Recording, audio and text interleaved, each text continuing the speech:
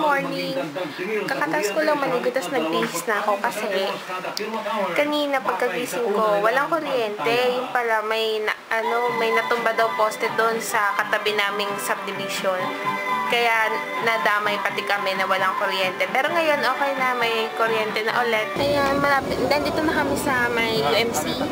Kaya, ayun. Tapos may bago silang parking lot. Ayan. Ayan, ayan. Ganda na ng parking lot nila, hindi katulad dati. Na social na, Ayan yung presyo. Ayan yung price.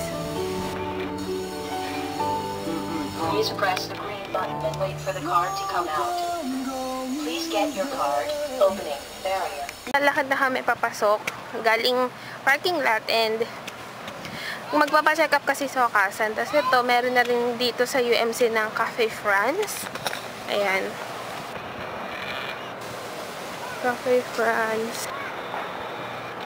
Yes, tapos na kami sa appointment sa doktor ni Okasan. Tapos nakain na kami ng lunch. Nandito kami sa canteen sa UMC. Ito yung akin. Ito yung lunch ko. Chicken. Tapos kay Okasan, sinigang. Ayan, kain tayo.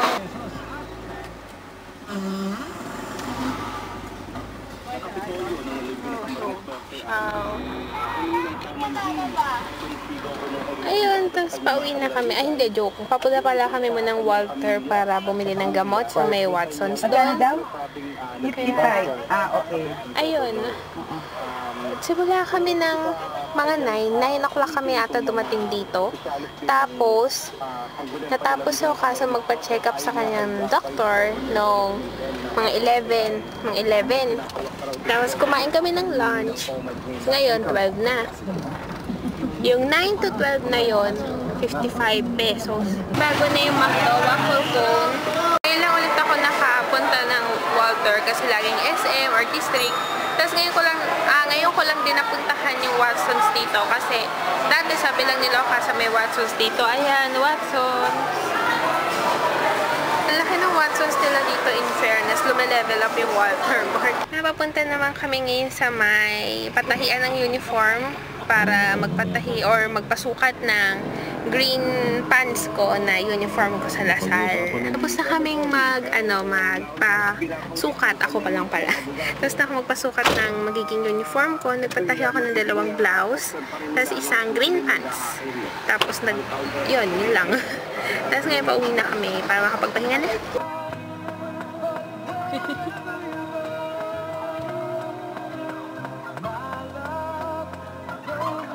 nung dalawang yan.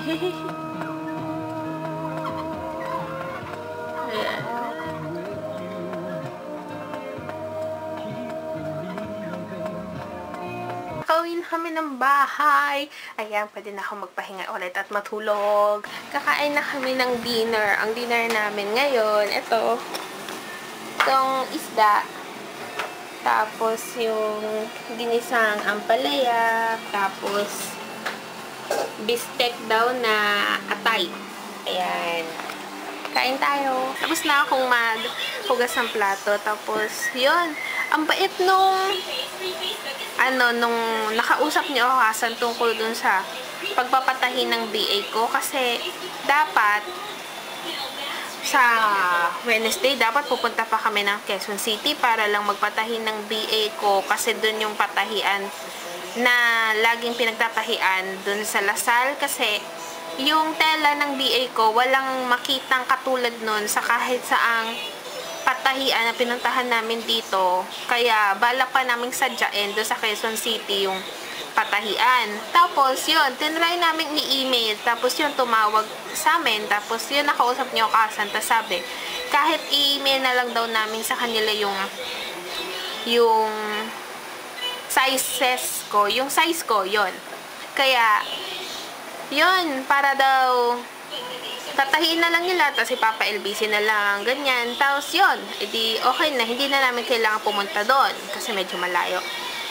Ayun, so yun lang, bye-bye. Good night po kasulit, bye-bye. Sa magluto si Okasan, kain na tayo ng lunch. Ang lunch namin ay yung